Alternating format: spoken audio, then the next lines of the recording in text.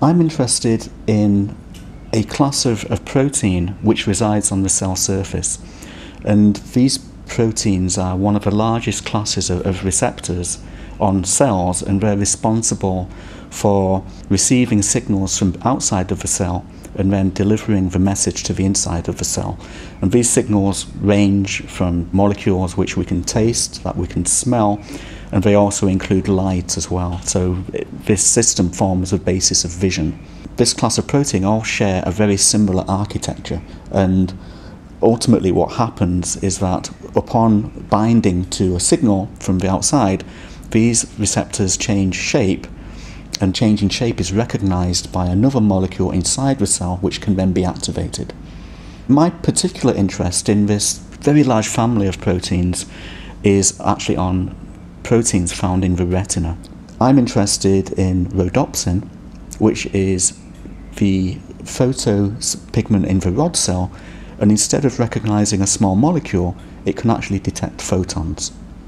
So when we see light, it's because a photon of light is being absorbed by one of these molecules, and there's a cascade, a biochemical cascade, which ultimately leads to a nerve signal to the brain saying that we've seen light. There's a disease called retinitis pigmentosa, and a large number of, of mutations which cause a specific type are found in rhodopsin. Now, most people have heard of, of age related macular degeneration that usually affects people in their later decades of life. Retinitis pigmentosa is very different. It usually afflicts people much earlier. Typically, in their teens or in their 20s is when they might be diagnosed. And at that point, it's pretty much known that this person's eyesight will deteriorate over time until ultimately blindness will, will develop and there is no known cure what we think is happening is that these mutations prevent the protein from adopting its normal structure.